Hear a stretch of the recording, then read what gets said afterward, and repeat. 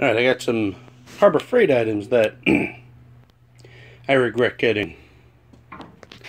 First off is this TV stand. It uh it just holds it there, tilt you could tilt it a little bit down and back flush against the wall, but you can't do anything. Because soon after I got this, Harbor Freight came out with the full motion TV stand. I got that and it's years better. Years better. Then there is this. yes, I got the AC manifold gauge set. By the time I actually read up on it, because I figured, hey, it'd be nice to have. By the time I actually read up on it, it was too late to return it. So, what the F ever. I'll try it, because I've heard that people have got it to work.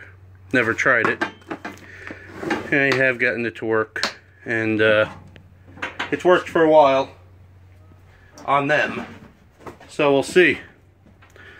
Another thing, universal quick uh, quick disconnect compression gauge set. Now, I don't know if it works because I needed to test it on a Ford and it just wouldn't fit the Ford. See, I tried. The Ford was uh, too uh, too narrow, the spark plug area. So I never got to try it out. Wish I would have known it didn't work on the Ford. I think someone mentioned it in the comments on Harbor Freight's site, but I didn't read that one, apparently. You know, that, uh, that kind of sucked. Had to test out, uh, and had, had, had to do, uh, other means to do, uh, do that, to fix that Ford. Actually wasn't the compression at all. It was something else. It was a spark plug wire uh, um, shorting out. Anyway. And one more thing. One last thing. It's something I praised. But I'm including it because of a regret. Yep, that tall ass red air compressor. I like it. I regret getting it. Should have gotten the black one. That was my regret.